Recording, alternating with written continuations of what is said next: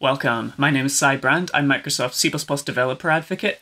Today I'm going to show you how to target the Windows subsystem for Linux 2 from Visual Studio using CMake.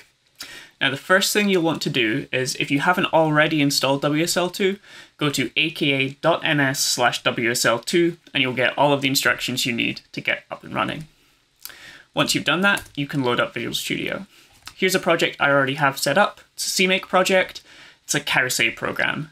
Takes some string, prints out a car saying the message. Kind of adorable.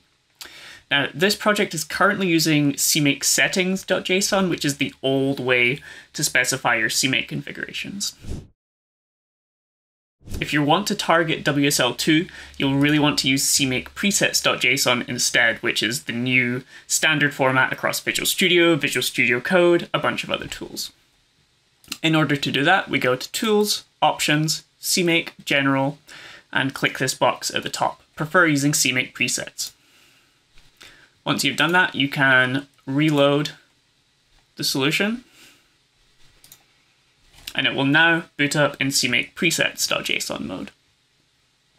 Okay, there we go. It should run a lot faster than you might be used to if you've been using CMake settings for WSL2. Um, we can then try and run this program. If we select our configuration, carousel.exe, and we should see a car printed out. Note that this is using our local machine targeting Windows.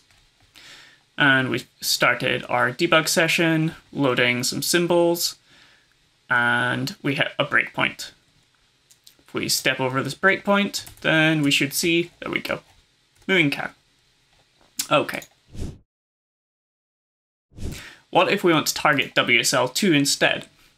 Well, it used to be that if you use CMake settings.json, you had to create your own configuration. You don't even have to do that anymore. When the solution is loaded up in CMake presets.json mode, then it scans for any WSL installations on your system, and it's found a couple.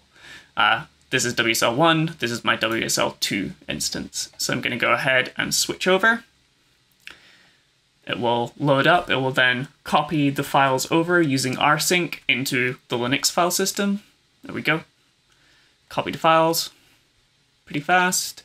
And then we can just do the same thing as soon as CMake finishes generation. Note that this is running inside my WSL. These are Linux style paths.